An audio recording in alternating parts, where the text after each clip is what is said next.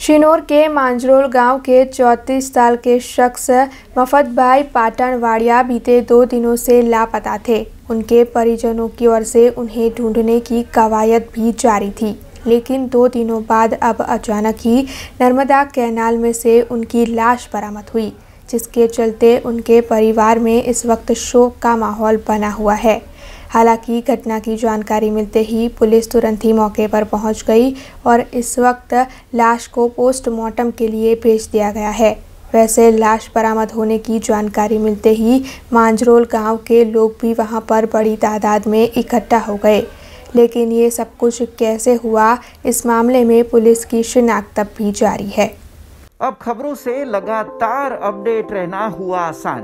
BRG news आपके mobile screen पर। आज ही बीआरजी न्यूज़ की mobile app Google Play Store और ऐप स्टोर से डाउनलोड करें और खबरों से लगातार जुड़े रहें।